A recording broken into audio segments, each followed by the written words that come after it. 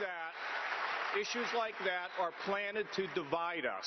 I think the simple fact of the matter is, and this is where I would agree with Jeb, and I've been saying it all along, we need to give everybody a chance, treat everybody with respect, and let them share in this great American dream that we have, Megyn. So, look, I'm going to love my daughters.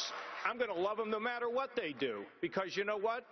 God gives me unconditional love. I'm going to give it to my family and my friends and the people around me. All right, folks, the hometown hero yesterday, the governor of the state of Ohio, John Kasich, on the uh, Fox News debate. And joining us now is Ralph Peters, Fox News strategic analyst. And of course, uh, he is the author of so many fine books, including, of course, Valley of the Shadow, a novel. Hello, Ralph. How are you, sir? Well, I'm great, Steve. How are you doing? I'm, I'm fine. I'm, I'm pumped because uh, it was very interesting watching last night. I know you're a you're a, a Kasich fan, uh, uh, so you must have been very impressed with some of the things he had to say up there last night. I was. I'm, I'm a ferocious hawk on national security, um, but I'm a, a tolerant guy on domestic policy. Um, I'm, I'm certainly tough love when it comes to education. I want, you know, stricter standards. I want to fight the teachers' unions, but at the same time, you know, I, I just believe in live and let live with our fellow citizens. On the other hand, I do have to say that, um, you know, I really think people's sexuality and religious beliefs should be their personal business. And the one time I was really put off in the debate last night was when we started getting the question toward the end about, well, has God spoken to you about this? I mean, that's a BS question. You know, let's talk about the economy. Let's talk about terrorism. Um, let's talk about education. Let's talk about real things. And so I've been a Kasich fan for a long time because I think he's a decent, honest man. He can build bridges. He can work across the aisle. He's a red governor of a blue state, and he's wildly popular. And we do not need more polarization. I want a ferocious national defense against our enemies, but here at home, we shouldn't be each other's enemies. And, you know, obviously, there are always going to be people on the far left and far right who are irreconcilable, who want it all that, that way. You know, there's no real difference between the extreme left and the extreme right. They're both totalitarian um, mindsets. But for all the rest of us, left, right, and center, we've got to get back to compromise because look, you know, compromise is not a dirty word. Compromise is what democracy depends on.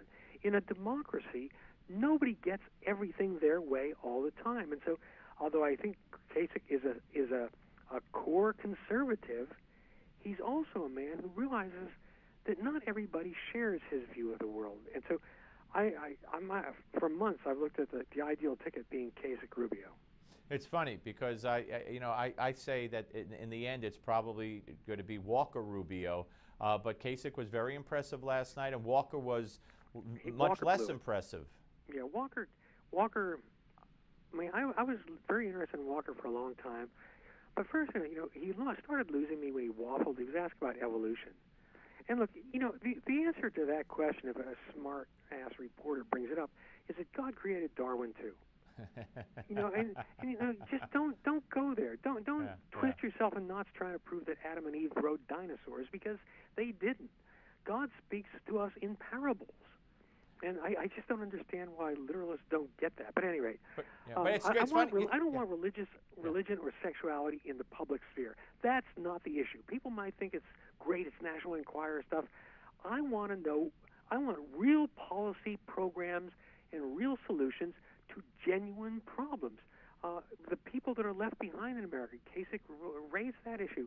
We can't afford to let the Democratic Party continue to keep minority um, um, Americans uneducated and unemployable and dependent.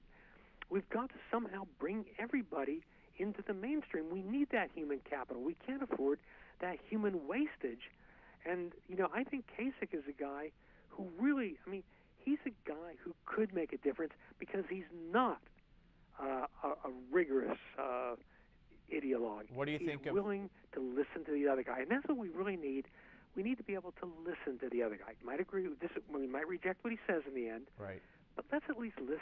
What, do, what about? We got a minute left, uh, Ralph. What about uh, Trump? Um, the words I would use to describe Donald Trump would get you in real trouble with the FCC. Uh, I think he's a clown.